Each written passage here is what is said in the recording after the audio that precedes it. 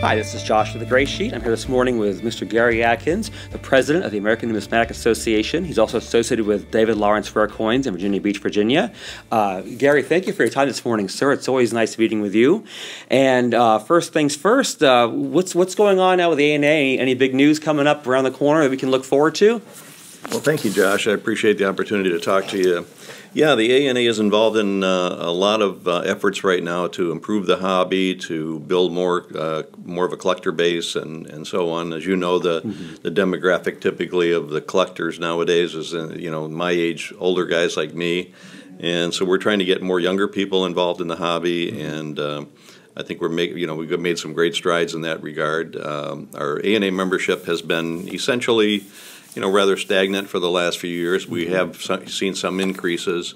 And one of the things that's encouraging to me is that we're seeing more um, what I would call 30 somethings coming back into ah. the marketplace. Maybe uh, younger people that you know collected when they were kids, right. and uh, you know then they went to school and college and you know started a career and so on, and now they're at a point where they're you know, maybe settled in, got a family started, and they're maybe have a few extra dollars, uh, disposable income where they can start collecting again. So that's encouraging to see that.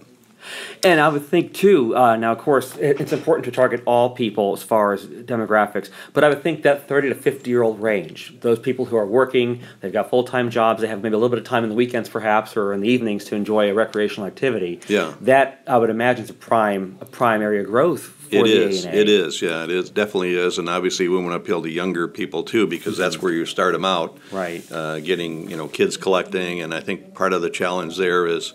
Uh, getting into their world in a sense, and you know whether it's through electronics, mm-hmm. you know, uh, young young kids nowadays are they do a lot of YouTube YouTube uh, viewing. That's so, true. So we if do. the ANA can get involved in YouTube, maybe and you know get some more in, uh, input in that, then that that would be helpful. Gamification is another aspect of it that's important. So mm-hmm. kids love to play games and that type of thing. So, you know, we're looking at ideas maybe to create some kind of a game that kids can be involved in. Uh, one of the things I noticed yesterday, I was at, or the day before yesterday, actually, mm-hmm. I was at the Mint Forum right. that the Mint sponsored, and they were presenting ideas that they have now. They've created some cartoon characters to try to appeal to the younger audience, right. and uh, that seems to be going over pretty good. So somebody made the suggestion: why don't you, you know, have a monthly cartoon, a new, you know, use these same characters, create a monthly that. cartoon yeah. that the kids can go on YouTube and, and check it out, and you know, so maybe that'll draw in a new audience. We hope so, anyway. So, but you're right, the the that 30 and up uh, demographic is really the key demographic in, in current, uh, you know, currently promoting the hobby and so on. Right. So, and typically those those folks have younger children too, and so if you know it, it, it works both ways. If the kids get interested in coins, the parents get interested in coins, right. and vice versa. So either we'll we'll take either one of those. And it builds a bond. You get oh, your, yeah, absolutely. kids yeah, involved or grandkids for that matter. Yeah, it's a great uh, it's a great thing for kids to be involved, and I think that's probably one of our biggest challenges is. You know, most young people nowadays really don't understand finance. They don't right. understand compounding of interest and simple things like that. So, uh, if we can focus too on education, getting more um, financial education out, mm-hmm. understanding how money plays a role in society, and how coins play a role in history, right, and science, and you, you could you know you could take and uh, create a coin class just about with any subject you can think of, whether it's art, history, science, mathematics, uh, any field of study, basically. And I think that's uh, probably part of the uh, challenge and part of the reason that the ANA is more getting more involved in looking at curriculum for mm-hmm. uh, not only grade school, high school, but also in the college level as well, because you could create uh, some great uh, classes, uh, elective classes, let's say, for, for students that are in whether they're studying to be an accountant or whether they're studying history or whatever, sure. and tie coins into that uh, and make it a great uh, and paper money as well. So I don't want to leave out paper money. That's a big every niche in the hobby. There exactly, absolutely, place. absolutely, yeah. But collectibles in general nowadays. Um, younger generation is not really too in tune with collectibles, antiques, and things like that. Right. They just, you know, it's not their thing. So uh, we have to be engaged. We have to be uh, continually looking at what we're doing and how mm-hmm. we're doing it, and and uh, try to create. Um, uh, new avenues uh, for the collecting hobby. So that's it, excellent. It, yeah, yeah.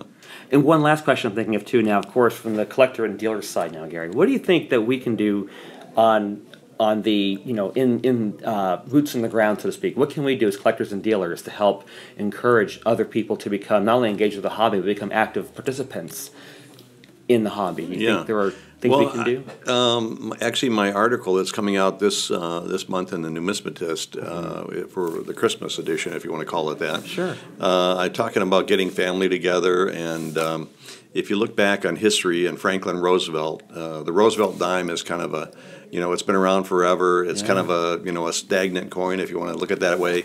Uh, no new, you know, no new design or anything like that. We basically just have a bunch of dead presidents on our coins, and people would like to see changes to that. So, uh, you know, we talked to the Mint about potentially changing that Roosevelt dime series because that's Oh. a series that, you know, you can collect fairly easily. Right. It's not an expensive No set. major keys or anything in Yeah, there, yeah, yeah. and uh, so it's a great series to kind of get uh, the introduction to collecting. That's a good idea. Um, so it's a simple series, and uh, one of the anniversaries that's coming up here in 2021 Mm-hmm. is the uh, uh, the well, what would it be? I think it's like 90th anniversary anyway. When or 1941. So what is that? 60, 80 years, right. 80 year anniversary of Franklin Roosevelt's famous.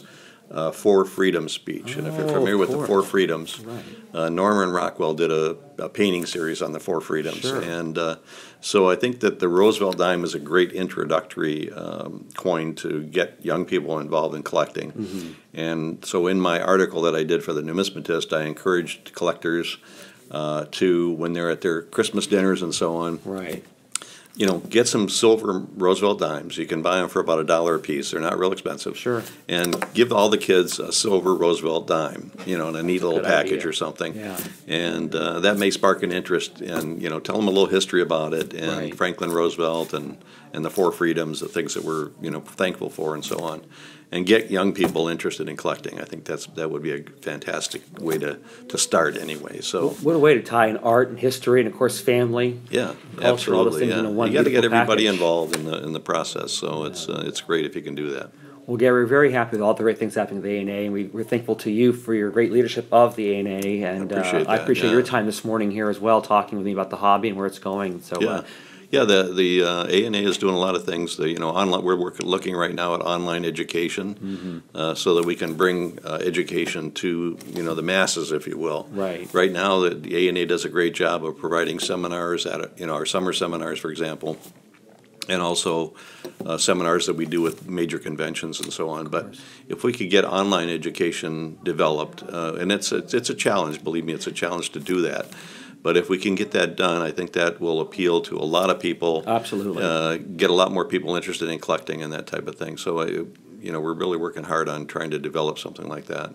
Uh, and improving, you know, all the aspects of ANA. We've got a great library. Uh, a lot of people don't even utilize the library as effectively as it could be. Right. We've got a fantastic museum in Colorado Springs, um, and we're just uh, now uh, ending up our World War uh, One exhibit there and changing that over. It's going to be uh, history of the British Empire. Oh, wow. Which will be kind of fascinating Yeah. for, for collectors to, to know about that. And now the neat thing about it is that you don't have to visit the museum to see it all Right. because we have virtual we have a virtual tour right online. If you go to the ANA website money.org, Mm-hmm. you can find that virtual tour on, and it's really neat to go through that and just see all the different displays that are there at the museum. And of course, if you get to Colorado Springs, I highly recommend visiting the actual museum. As an ANA member, I've, I've visited the online museum before, and it's really just an incredible offering that you Yeah. have for the public to get a, get a get a glimpse of all the incredible things at the headquarters in Colorado Springs, Colorado. Sure, sure, yeah. And, uh, we're working to try to, you know, have better outreach in that regard too, Right. and, and bringing the museum to the public, if you will. Uh, and we do that through our conventions. We had a fantastic convention in Philadelphia and had some great Oh, that was an rarities. incredible show, yeah, Gary. yeah, and they had some great rarities on display there, so it was Yeah. pretty pretty phenomenal. Yeah.